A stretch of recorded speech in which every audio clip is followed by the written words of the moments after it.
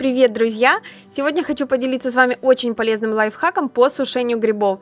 Этот э, рецептик очень полезный. Он всегда пригодится тогда, когда у вас после какого-то рецепта остаются остатки грибов. Они получаются очень легкие, замечательно их взять с собой какой-то поход.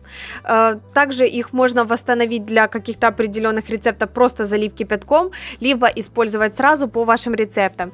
И из этих грибов я еще делаю ароматную грибную приправу, просто измельчив сушеные грибы в блендере.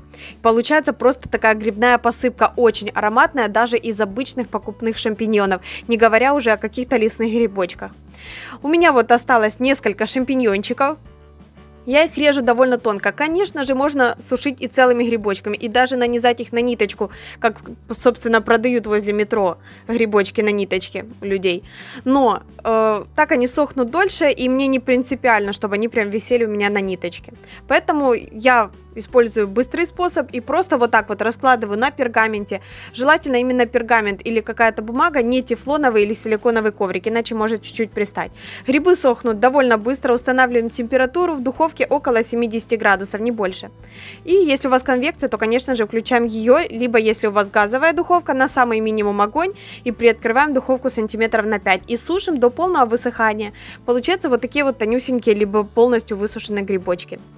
Если вам нужно по рецепту их восстанавливать, э, чтобы нарезать в какой-либо рецепт, вы их заливаете кипятком, даете полчасика постоять, пускай немножечко наберутся влаги и станут мягкие, и затем можете их резать, допустим, если вам так нужно по рецепту. Вот этот э, вот бульон, который остается, он мега ароматный. Такие грибочки можно сразу варить и делать грибной суп, он получается намного вкуснее и ароматнее, чем просто из обычных сразу сырых шампиньонов. Сушеные пахнут намного приятней.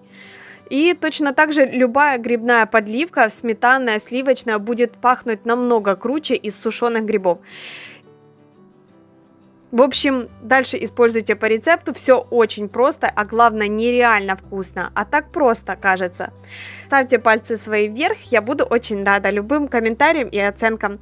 А с вами, как всегда, был Кекс, до новых встреч, пока-пока!